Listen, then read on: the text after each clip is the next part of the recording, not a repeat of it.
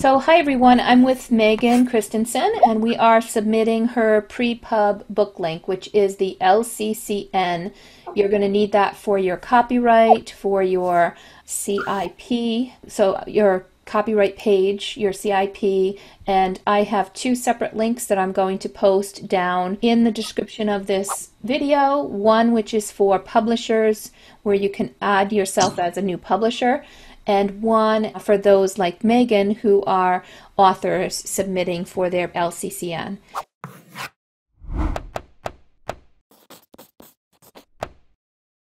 So here we go. This is as an author submission.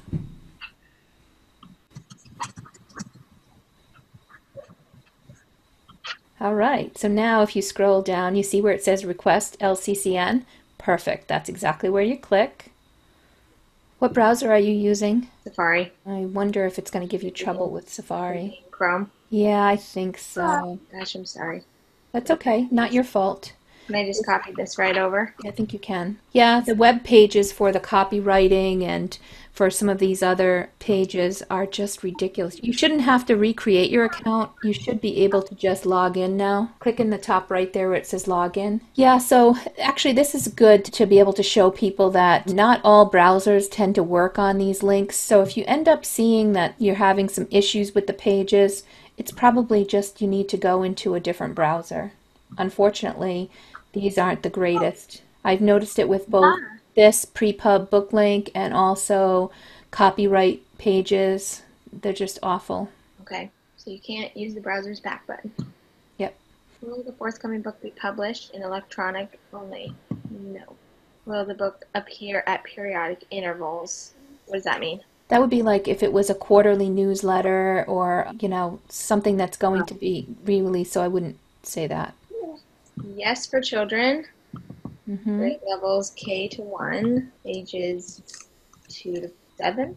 32 pages. English. And we'll say October.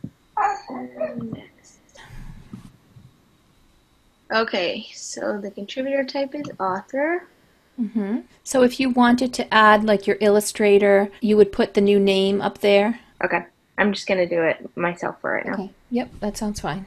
Sorry. That's okay. Does it matter like lowercase and uppercase? I don't think so. I think, you know, you just want it to be the way that the title is going to appear. So if it's Wally is all in capitals on your title, you probably want it all caps here. Okay. Makes sense that it would match. I don't have a subtitle or an edition. My publisher, myself. yep, it says put your own name in the field below if you're the self publisher. Wondering if I should put my home address like I don't know. You mean Wally and Benji aren't going to get into any more trouble? well, I don't know. That makes me sad. I say yes, and then maybe it won't, or no. You can always go back and change things later if you need to. Okay, so then I need one of my ISBNs on here. Correct. It's uh, on myidentifiers.com oh, yeah. for Bowker, and now do the sign in.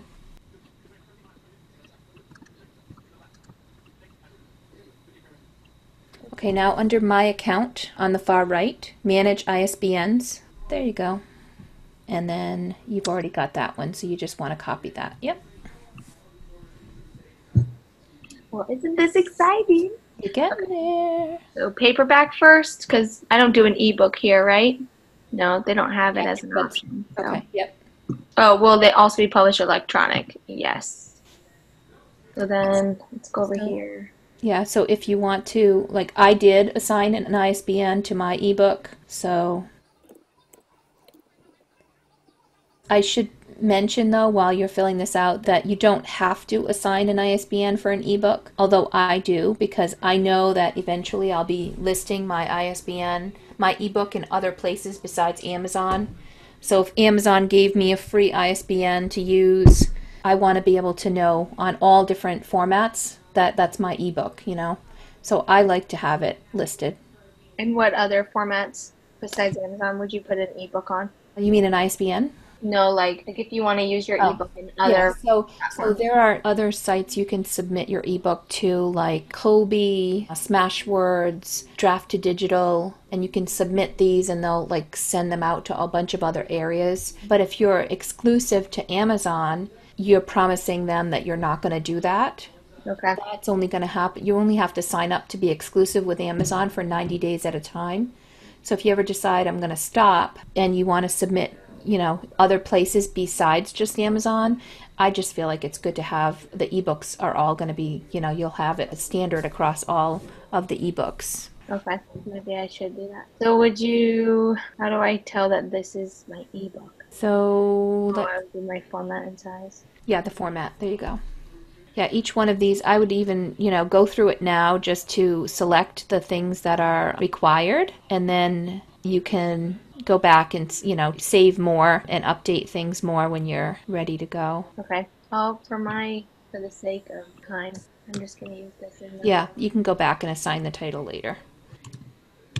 ebook, right? Mm-hmm. Okay. A book summary. Should have been prepared. Yeah, so some, yeah, so if you have a, a book description or whatever, Yeah. then you can, I have one. you do. Good, good. Okay. Any information you think might be useful in the cataloging process? Uh, I don't don't usually need anything there. Should I put anything about my columns on the side? You can enter it here if you think it might be helpful for them to know. Okay. So then click on next section. Now it's just going to give you the uh, overview of everything you've entered. Okay. And now you've got the submit. Scary. And that's all there is to it, Megan. Okay. That was easy enough. Yes.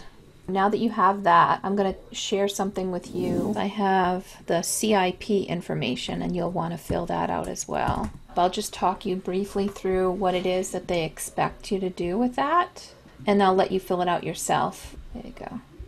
Okay.